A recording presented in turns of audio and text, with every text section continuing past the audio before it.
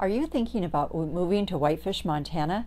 In this video, we are going to give you the 10 reasons we love living here.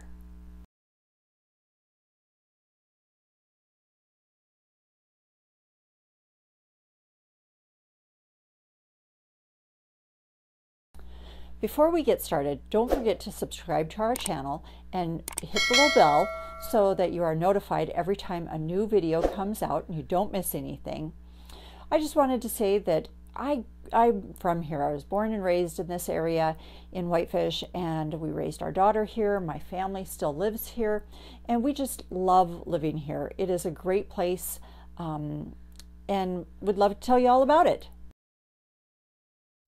Welcome to Whitefish, Montana. As you can see, the views from Whitefish are incredible. Anywhere you are in town, no matter which direction you look, you're going to see mountains, rivers, streams, lakes, forests. It doesn't get any better than this. I've lived all over the country, and there is not a prettier spot that I know of in the United States. As you can see from this spot near the ski resort, these views just never get old. One of the best things about living in Whitefish is the Whitefish Trail System. As of now, the City of Whitefish and the Whitefish Legacy Partners have built 43 miles of trails with 14 trailheads that are located all around the town of Whitefish. The first and most popular trail is the Lion Mountain Trail. In 2015, they built this large pavilion that can be used for educational programs or just a picnic area. The other reason this trail is so popular is it's a short three mile loop if you'd like, or it also connects to the Beaver Lakes Trail, which will give you another 20 miles of trail system, and it also goes around six lakes that are out to the west side of Whitefish. If you're just looking for a short hike, the Lion Mountain Trailhead is awesome because at the end you're paid off with a great view when you get to the Skyles Lake overlook. There's a bench located here, and it's a great spot to sit and take in the views that look over Skyles Lake and up to the northwest towards Eureka and the Canadian border. This trailhead is only five minutes from downtown Whitefish and it's now connected by sidewalks and trails so you can ride your bike here as well. Number three on our list is Whitefish Lake. This spectacular mountain lake is almost six miles long and a mile and a half across. It is fed by four different creeks that come into the lake at different areas, and the Whitefish River flows out of the lake very close to the city beach area. If you're wondering about the depth, it is 233 feet at its deepest point. In the summertime, the city beach area is one of the most popular spots in Whitefish. There is a sandy beach, a shaded grass area, a public dock and boat launch, and picnic tables and gazebos. There is also a snack bar, and City Beach is the place to watch the Whitefish fireworks display every 4th of July.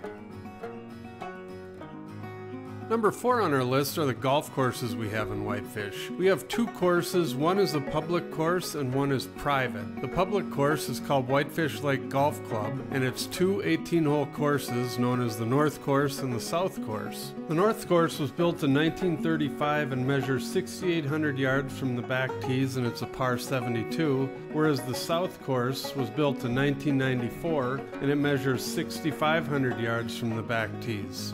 The private course in Whitefish is located just below the Whitefish Mountain Ski Resort and was built in the year 2000. Iron Horse Golf Club was designed by Tom Fazio and it's a par 71, 7,000 yard course from the back tees. This is one of the top courses in all of Montana, if not the entire Northwest. Iron Horse has a large clubhouse area that includes an outdoor pool and tennis facilities as well. If you are lucky enough to get to play this course, you will take in some great views of the Flathead Valley, Whitefish Lake, and no doubt you will see tons of wildlife around the course.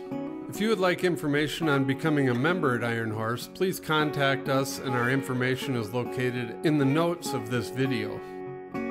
Number five on our list, but my personal favorite, is the Stumptown Ice Den. It is one of the nicest ice rinks in Montana, and it is one of the very few rinks that's open year round in this entire part of the nation. This facility is home to a large adult hockey association, a kids hockey association, figure skating, and curling is also done here. There is a great group of people that make up the Adult Hockey Association, and the popularity of the adult leagues continues to grow year after year. If you don't play hockey, now is the time to start.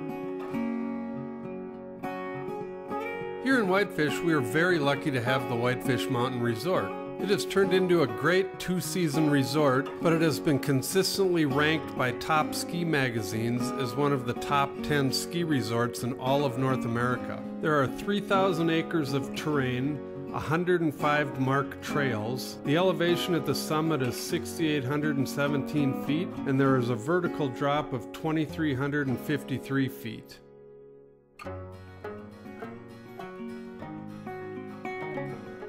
Number seven on our list are the restaurants that are around Whitefish. We are very fortunate to have tons of good places to eat. I will leave a link for all the restaurants in town in the notes after the video, but just on Central Avenue alone, we have pizza places, we have a few different bars that serve food. Casey's has a rooftop deck, which is a great spot in the summer to eat on. Uh, there are some fine dining places, and just off Central Avenue, there's also some good places one of my favorites is called the Tea Kettle Cafe, and it's located in the Marketplace, which is located on Spokane Avenue, one block east of Central. I guarantee there are plenty of options, and you will never go hungry when you walk around Whitefish. Another great natural resource we have here in Whitefish is the Whitefish River. Like I mentioned earlier, it flows out of the south end of Whitefish Lake and makes its way all the way through the town of Whitefish before it starts heading south towards Kalispell. There are some great walking and biking trails that follow the river through town, and there are also a few parks located along the river as it goes through Whitefish. One of the things we love to do is we'll go park a car out on Highway 40, which is just south of Whitefish, and then put our paddle boards in at City Beach and get onto the Whitefish River, and you can paddle all the way through town and outside of town a little bit to the pullout area on Highway 40, and it's about a three hour trip and it's a great day on on the river. If you don't want to go that far, there are plenty of parks to stop early. The ninth reason to move to Whitefish is our parks. Throughout town, you'll find numerous parks that can be used by the kids, or there are plenty of spots for adults to just sit and relax or have a picnic lunch. The newly remodeled Depot Park is right downtown and is the site of the farmers market during the summer. And on the east side of town is the dog park, which is a great area and very popular for dog owners to walk their dogs, and they can even play in a little pond that they have there as well.